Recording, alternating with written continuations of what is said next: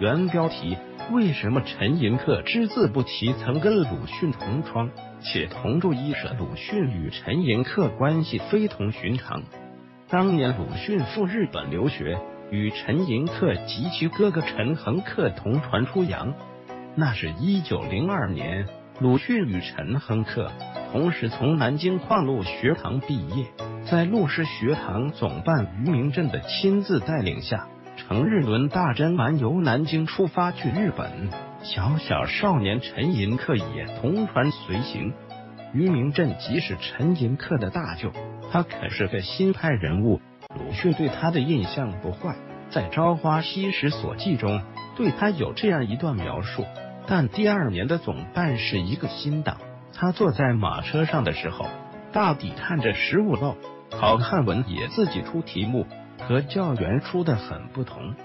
有一次是华盛顿论，汉文教员反而惴惴的来问我：“华盛顿是什么东西呀？”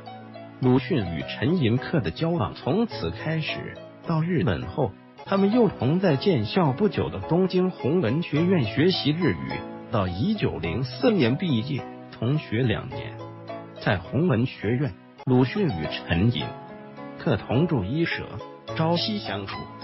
鲁迅一生骂人无数，主任、主编、校长、从长、将军、元帅、总统，不管是恩人或仇人，领导或下属，他一不开心张口就骂，却没有骂过陆放学堂的余明振，也就是陈寅恪的舅舅，也没有骂过陈寅恪。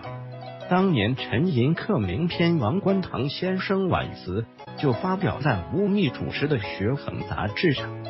学衡还刊登过陈寅恪与秘书与刘书雅教授论国文考试题。鲁迅把吴宓骂得狗血淋头，对陈寅恪的古董文章却很难得的保持着沉默。不知道是因为与陈寅恪家族友好的原因，还是学历不逮，不敢妄评。反正终生未见微词，这在脾气不好的鲁迅来说，几乎是一个特例。要说起陈寅恪的家族之大，怕是在中国难有望其项背的。陈寅恪的祖父陈宝箴原任直隶按察使，甲午倭寇犯高丽，陈宝箴出任大清国战时军需指挥官，以粮台转运使的身份，负责为前线准备军谢粮草。终日与荣禄、刘坤一、聂士成、袁世凯等面商或电文往来。做的是保家卫国、名垂千古的大事。陈寅恪著《韩柳堂集》也谈到身世，说自己祖父任湖南巡抚锦德小省，在他眼里，小省当个省长算不上什么官。就说亲自护送鲁迅、陈恒恪、陈寅恪去日本留学的余宁镇，出生绍兴余家，也是真正的大家族。单说老于家有个儿子叫于大为，读哈佛，读柏林，与陈寅恪同学。陈寅恪的妹妹陈新武嫁给于大为。寅恪与大为原本就是姑表兄弟，亲上加亲。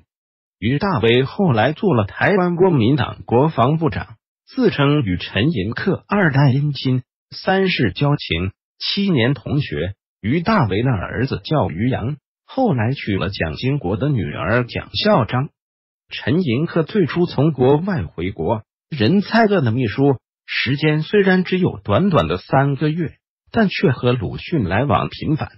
鲁迅那时候刚刚出版了《域外小说集》第一、第二集，还有探话一册，书名是陈寅恪兄长陈恒恪题写。清明节后的那一天。他取了几册书来到蔡将军府，陈寅恪正埋首在案前一摞卷宗里。鲁迅和他打招呼时，他眼睛直愣愣的瞪着他，老半天没有任何反应。鲁迅将书放到他面前，陈寅恪才回过神来，摘下眼镜擦拭了一番，然后找出茶杯，每一只都积满了茶垢。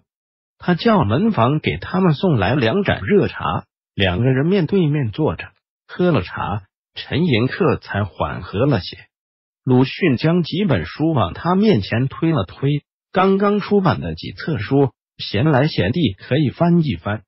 陈寅恪将书拿起来，随手翻了翻，然后说：“我记得当年在日本，你就不来上课，尽找外国小说看，翻译的底子就是在那时候打下了。”鲁迅说：“我心思不在学业上，但也并非不听课，每个月都要到注册的学校胡乱听几节课。我是官费生。”朝廷每年有四百元光洋配额，要看听课记录，方才可以按月从学监处领到三十三元钱。单纯做学生，这钱绰绰有余。但我后来回国结了婚，留学的，抽烟、喝酒、购书，这钱就不够用了。你知道的。加上周作人很快与宇太信子谈起了恋爱，钱更不够用。陈寅恪三兄弟合影。陈寅恪说：“不过你会挣钱，给浙江潮写稿子，给各种小刊物、同乡会写文章做校对，日子还是过得不错。”鲁迅说：“那跟你们世家子弟是不能比的。当然，你那时还小，我的成就就远不如陈恒克。”陈寅恪说：“陈恒恪是拼了命的，他生来就是读书的命。”鲁迅说：“你们兄弟均如此，读起书不要命，过目不忘又天资聪颖。”陈寅恪说：“你一双眼睛一直盯着文学这一块。”鲁迅说：“这是我和师曾陈恒恪不同的地方。他用一只眼紧紧的盯着学业，另一只眼关注着绘画、音乐、古诗，广交日本艺术界朋友，完全游离在革命之外。”唯一能找得到与革命有一点点关系的是，陈恒恪与李叔同经常在一起讨论研习中国古诗、古画、古乐。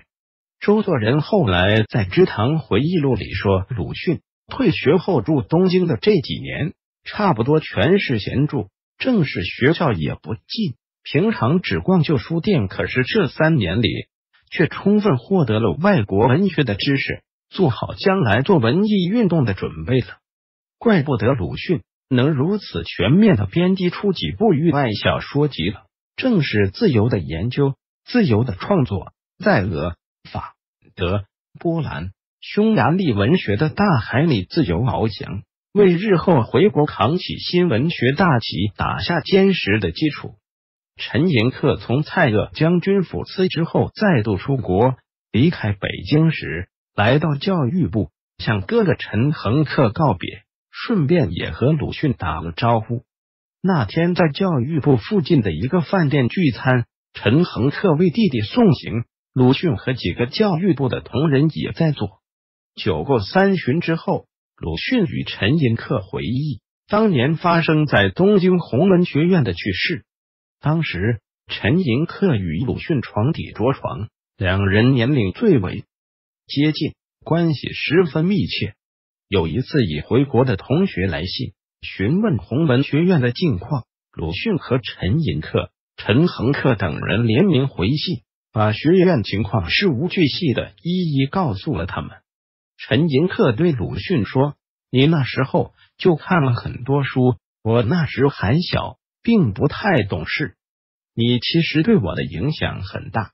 那时候。”你已认清沙俄和日本都是帝国主义，都是侵略中国的敌人。当时具有这样的意见是令人敬佩的，我感到很吃惊。你那时就一直鼓励我，受到你的鼓励，我给家父写了很多信。我记得有许多话，比如指出日本包藏祸心，其实都是平常你跟我说的。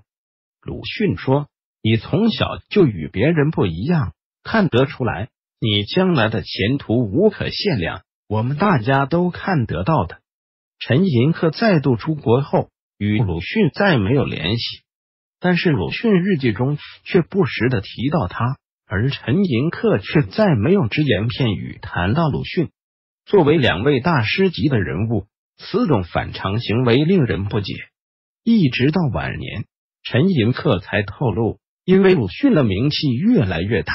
最后以民族魂的大旗副官盖过，继而成为先知先觉和全知全教的一代圣人。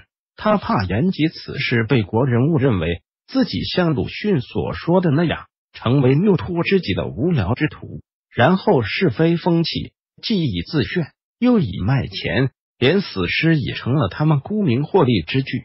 所以晚年的陈寅恪对于与鲁迅先生曾经是同窗的经历从不提及，这也是陈寅恪孤高与自尊的证明。他默默的走着一条漫长无尽的学术之路，最终成为令人仰望的一代大师。他的学问被傅斯年称为三百年来第一人。返回搜狐，查看更多责任编辑。